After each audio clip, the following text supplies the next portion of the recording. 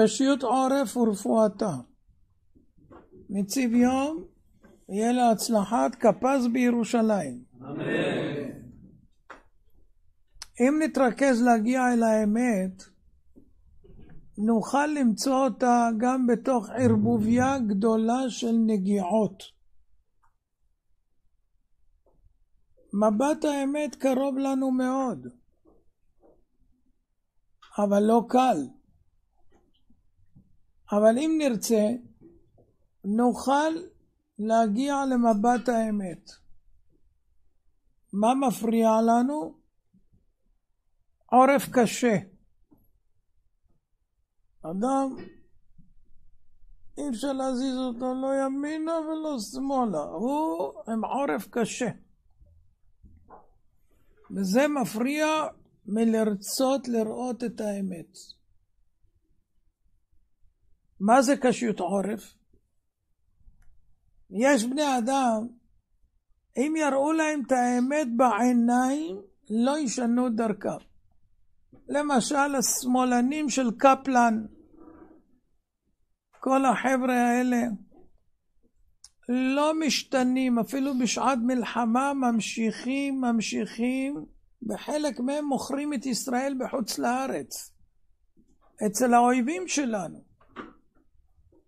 כמו אהוד אולמרט שהלך לטורקיה, לכל מיני מקומות, וכל מיני כאלה. ויש אחד גדעון, גם כן עיתונאי אחד.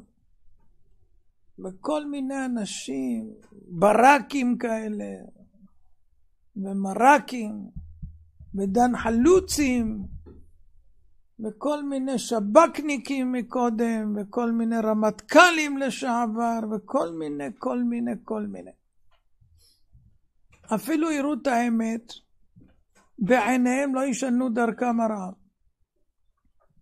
וחכמים זיכרונם לברכה גילו לנו את הסוד. הם אמרו רשעים אפילו על פתחו של גיהנום אינם חוזרים בתשובה.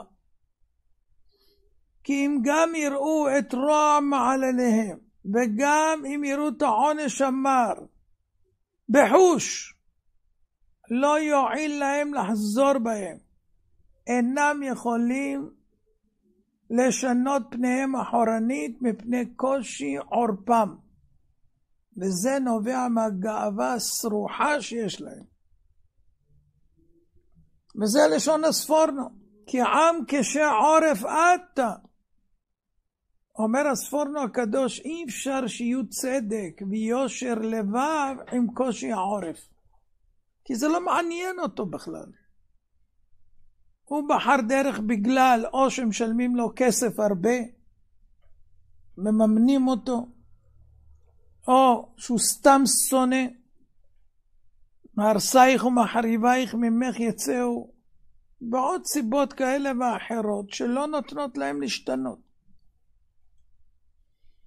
אמנם כשהעורף ההולך אחר שרירות ליבו, אפילו שיודיעוהו בראייה ברורה שמחשבתו תביא אותו אל ההפסד, לא יפנה.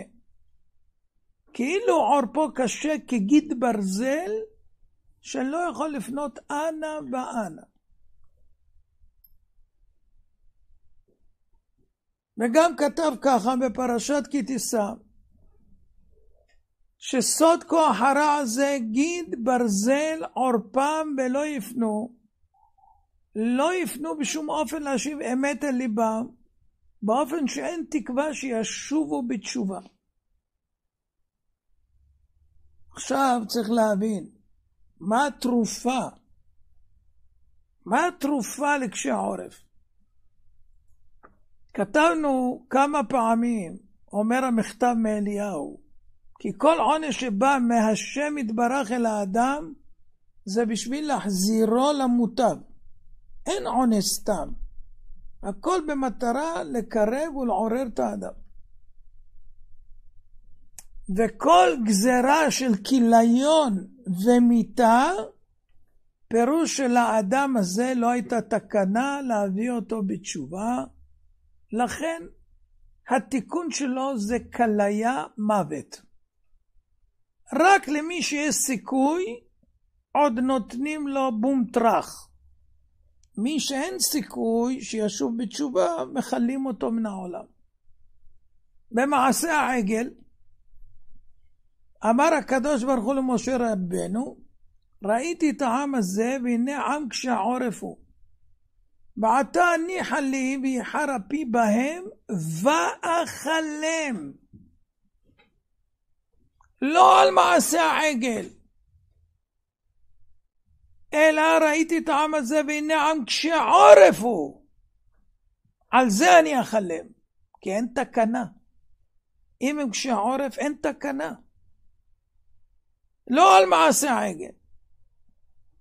הרי במצרים הם עבדו עבודה זרה והגיעו למ"ט שערי תשובה והוא לא כילה אותם. כי שם הם לא היו קשי עורף. שם הם היו בגלל שהם גדלו ככה מאות שנים בתוך מצרים וזה, זה התרבות. אבל פה, אחרי שאני גואל אתכם ומוציא אתכם והכל, ואתם חוזרים עוד פעם, אז זה כבר קשיות עורף. אז לפי דברי הספורנו, משום שאין תקווה שהם ישובו בתשובה, ממילא אין להם תקנה אלא כיליון. רואים עד כמה הדברים מגיעים? אמרתי לכם שאני קורא לאסון אסון ביזוי הדת. ובגלל ביזוי הדת, מה שהיה לפני השביעי באוקטובר, ממילא לא הייתה שום ברירה, אלא לעורר את העם באופן כזה, שהגיע המצב של כיליון לכ-1400 איש, בשביל לעורר את הנותרים.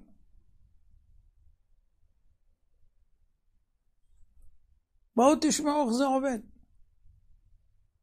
בדרך הטבע אין אפשרות לקשי עורף לשוב ולבחור בטוב. ולא היה שום מוצא עד שפתח הקדוש ברוך הוא פתח חדש ואמר למשה הניחה לי ויחר אפי והם באכלם. מה זה שהוא אומר לו הניחה לי? מי מפריע לך לכלות אותם? הניחה לי פירושו של דבר כאילו אתה יכול למנוע ממני. אז עם כל עוצם גדולתו של משה רבנו, התפילה שלו יכולה לפעול במסירות נפש להגן עליהם. והגמרא בברכות ל"ב אומרת שתפס משה לקדוש ברוך הוא כאדם שתפס לחברו בבגדו. כביכול. בכזה אופן ממש הוא נלחם בשביל שהקדוש ברוך הוא לא יכלה. הוא מסר את נפשו למיתה עליהם. ועמד בתפילה עד שאחזתו אש של עצמות. עד שאחלהו. רש"י אומר, הפציר בו כל כך, שכביכול אם אדם היו מפצירים בו ככה, היה חולה מרוב ההפצרות האלה. ככה הוא הפציר בקדוש ברוך הוא שלא יכלה את עם ישראל. כל זה הועיל לשעה. ככה אומר הרמב"ן. אז מה, איך בסוף הם נתקנו מקשיות עורף? איך הם יחזרו בתשובה? אמרנו שזה קשה מאוד. איך הם חזרו? מה עשה משה רבנו למרות קשיות העורף שישובו בתשובה? עוד לפני שהוא שרף להם את העגל והשקע אותם ממנו. הטיח אותו והשקע אותם, כל אחד שתה טיפה מהעגל, לבזות את העגל. שאם הם חשבו זה אלוהים, אלה אלוהיך ישראל, אז הנה הוא שותה אותו ומוציא אותו אחר כך בקטנים. אין פה אלוהים, כן? אבל לפני זה הוא קודם כל שבר את הלוחות. ככתוב ואתפוס בשני הלוחות באשליכם מעל שתי ידיי ואשברם לעיניכם. ותרגום יונתן אומר אני מתרגם שהוא שבר אותם ואתם ראיתם איך הלוחות נשברים באותיות פורחות. זה הביא מבוא לתשובה שלהם, שבירת הלוחות לעיניהם. ועל ידי שהם ראו אותיות פורחות, זה כבר בקע את קושי העורף ואפשר את התשובה. אז התורה מגלה שיש רפואה אפילו לקשיות עורף, זה התעוררות חזקה מאוד וקיצונית. הסברנו את זה בהרצאות קודמות. למשל לאחד שנכנס למועדון וראה שם חרדים, רוקדים, גברים ונשים. הוא אמר להם, מה זה, איסור גילוי הרויס, וזה, וצעק, והשתולל. אמרו לו, עזוב אותך, בוא תרקוד, נו, והתחילו למשוך אותו למעגל. הוא ראה שאין עם מי לדבר, יש פה אנשים קשי עורף שלא מבינים מה הם עושים. חילול השם. יצא החוצה. אחרי פרק זמן חזר עם ספר תורה. פתח את הספר תורה בתוך המועדון. השליך את הקלף על הרצפה ואמר להם, הנה אתם רואים, אתם דורכים על התורה. זה זעזע אותם, וכולם ברחו מהמועדון. לראות ספר תורה על הרצפה ואנשים עליו. הוא אומר להם, זה מה שאתם עושים, אתם דורכים על התורה. מישהו גילה לי שמהדוגמה הזאת הוא חזר בתשובה.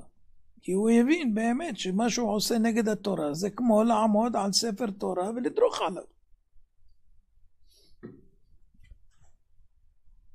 אז זאת אומרת, אם עושים דבר כזה קיצוני, אז זה יכול לעורר את קשיות העורף. אבל מה רואים? כשאין שום סיכוי, אומר הספורנו, זה רק מוות. מה עשה הקדוש ברוך הוא בשביעי באוקטובר? לא שברת לוחות, שברת קיבוצים, את היישובים. ואנשים מתו בזוועות עולם. ודווקא אלה שהחזיקו מהם, רובם הם שמתו. שהאמינו בחמאסניקים ולא האמינו ביהדות וביהודים. לא יאומן כי יסופר. ומה זה גרם? שרבים עכשיו מתעוררים וחוזרים בתשובה גם מאלה שהיו בצד שלהם. בצבא עכשיו משהו מדהים. ומדליקים מנורות חנוכה בכל מקום, בעזה, וחוקקים כל מיני דברים על הבתים. ואפילו נכנסו למסגד ואמרו שמע ישראל השם אלוקינו השם אחד.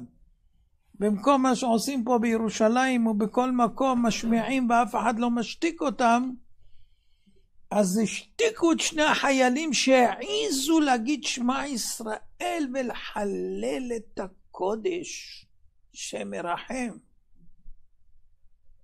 אז מישהו שלח לי ששמאלנים נכנסו לבית כנסת וצעקו בפנים אללהו אכבר. תבדקו את זה.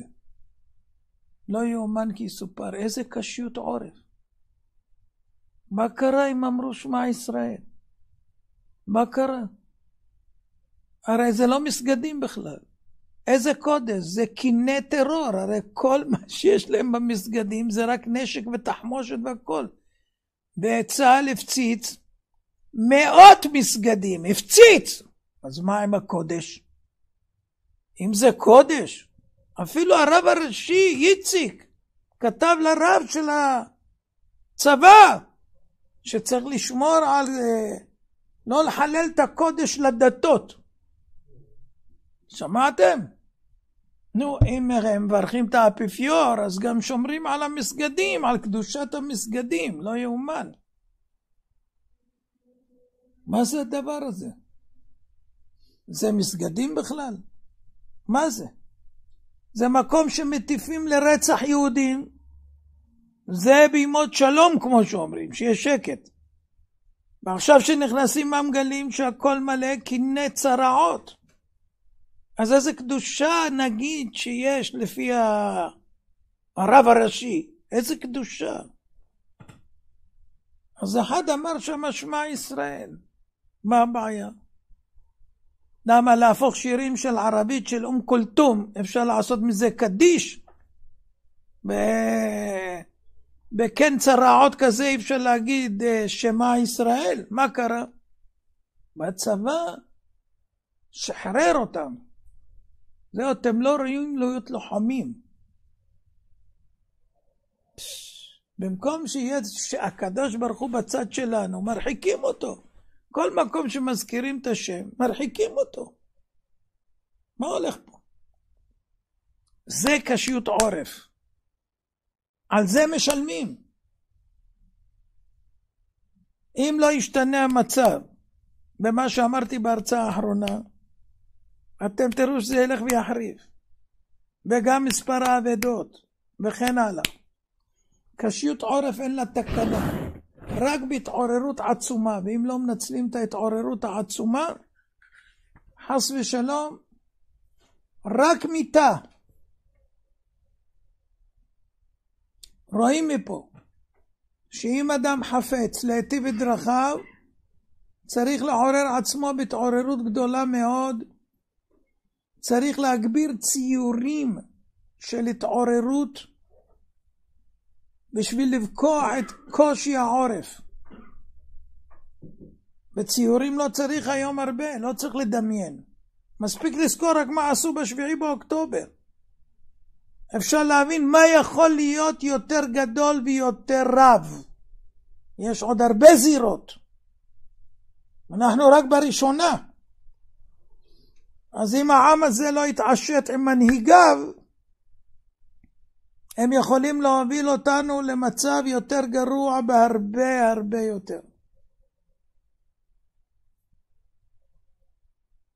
וכותב המכתב באליהו, תשמעו מה הוא כותב. לא אלף ארבע מאות, שש מיליון. הוא אומר בדורנו הייתה בנו יד השם, אויב קשה כהמן. החריב מדינות שלמות של אחינו בני ישראל. חלק גדול מכלל בית ישראל עזבונו בעוונותינו הרבים. רוב יראי השם ספו תמו, ומיודעי התורה נשארו רק אחוזים אחדים למאות. יש מסבירים למה נפלו גם אנשים שהם יראים, כי כשלא מוכיחים, נתפסים בעוון. כמו בדור המדבר, 600 אלף מתו שלא הוכיחו את המרגלים על לשון הרע על הארץ. בגלל שלא הוכיחו אותם. ואומר המכתב מאליהו, שבר השם יתברך את שארית התורה לעינינו. לכן עלינו להתעורר הרבה ולשנות את השקפותינו, דרכינו, מעשינו. ולשוב אל השם בחוזקה, ואז ירחם על שארית הפלטה. אז 1,400 זה איום ונורא, אבל כמה זה ביחס ל-6 מיליון? והיו שם יראי אלוקים בשואה. אבל הייתה התבוללות, היה רפורמים, רפורמה. רצו להידמות לגויים. זהו, זה מה שקורה גם היום. מתייוונים, אותו דבר. זה לא מפסיק. והקשיות עורף לא תשנה אותם. רק דברים איומים ונוראים יכולים לזעזע, כמו הספר תורה שנתנו דוגמה. אי רצון שהעם הזה יתעשת, ובעיקר מנהיגיו, כי הם מובילים אותם. או להצלחות או לפי פחת. ימים יגידו. בינתיים, שבת קודש, בדרך אלינו, יש מחו במלכותך שומרי שומרי שומרי שבת וקוראי עונג שבת ישמחו במלכותך שומרי שומרי שומרי שבת וקוראי עונג שבת מקדשי מקדשי